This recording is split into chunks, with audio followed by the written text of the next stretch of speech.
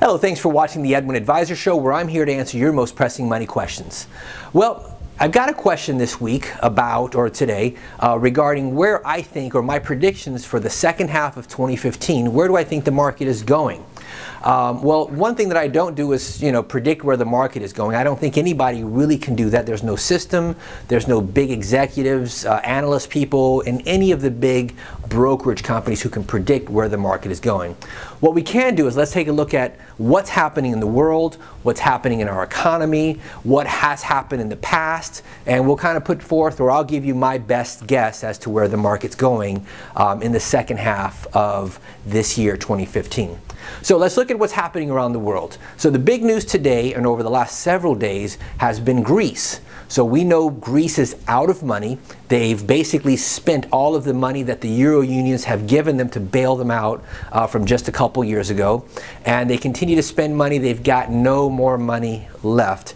They had a big vote uh, from the people in Greece and they landslide no vote, which the Euro Union is not very happy about. Um, so I will tell you this, Greece has not seen their worst days. Uh, unemployment will continue to get worse in Greece. Um, so I really feel bad for the Greek people. Um, so this will, in the short term, hopefully not in the long term, really disrupt the markets. So that's short term. What's happening here at home? Here in the US? Well, economic growth over the last so many years has been very slow, um, to slow at best. Um, so that will continue. Hopefully, at least growth will continue. Um, we just got a report this week that the unemployment rate is at 5.3%, uh, which, to be quite honest with you, I don't buy that number. Again, the government kind of uh, has certain formulas to make the number look better.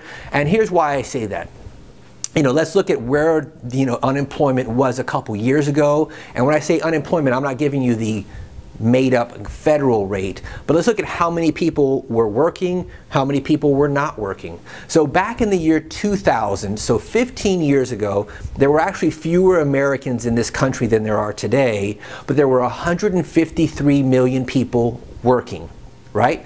Fast forward 15 years, it's 2015. There are over 330 or 320 million-ish people in the United States. We have 148 million people working.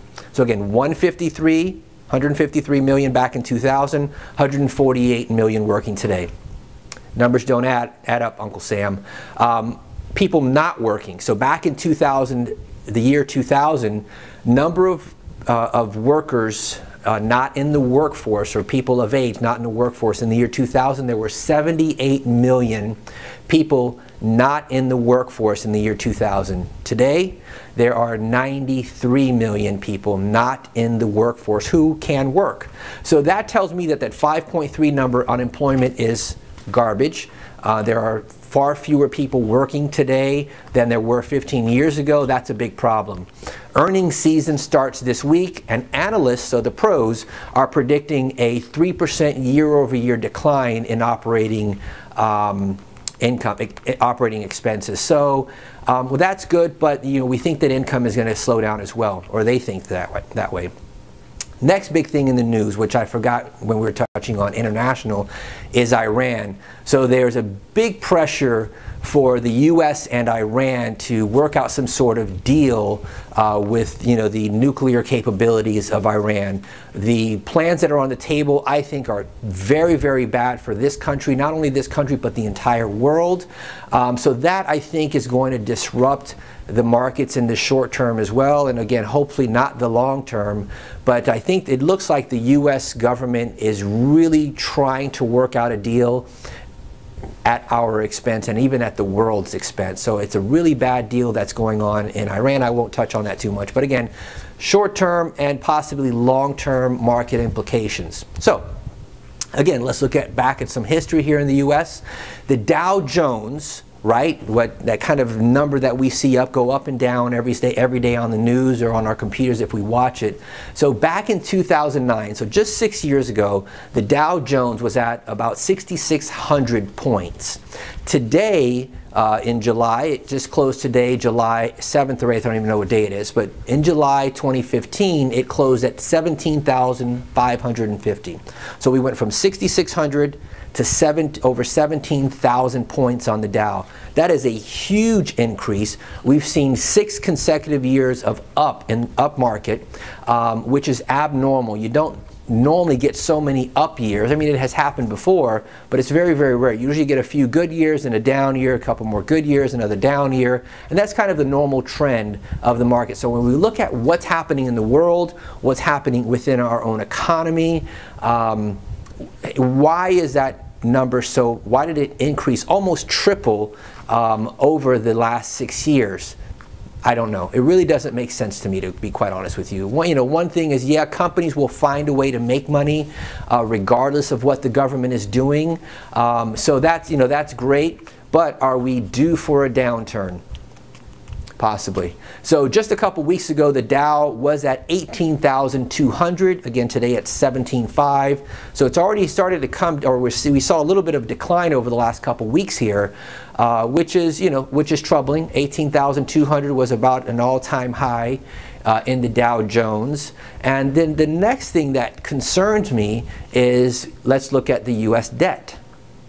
Again, I just talked about that on my last video. Again, today we're at 18 and a quarter trillion dollars of debt in the United States. Uh, back in 2000, we were at about five and a quarter trillion. So again, 15 years ago, we were at five and a quarter trillion dollars in debt. Today, we're at 18 and a quarter trillion dollars in debt. Now, that is a substantial increase you know, if we have less people working, that mean, means we have less people paying taxes to pay down that debt. So, going back to the original question, you know, so looking at where we were, where we are, what's going on in the world, um, you know, really doesn't look too good. Again, again, the market's do, been doing very, very well over the last several years. I don't know if the next six months is going to continue to go down or continue to go up. I have no idea, to be quite honest with you.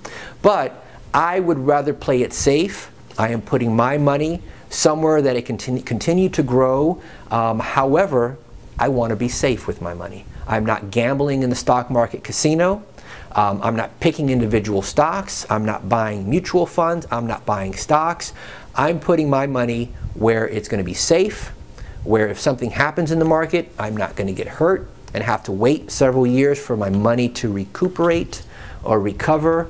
Um, I am only investing in safe investments, and I probably, you know, if you came to see me, I'd recommend the same for you. Well, I hope this helped you. Ask your questions down below or tweet them to Edwin Advisor, a hashtag Edwin Advisor. You can follow me on Facebook, Twitter, Instagram, YouTube at Edwin Advisor. Please subscribe to my YouTube channel. Please ask questions, and I look forward to talking to you soon.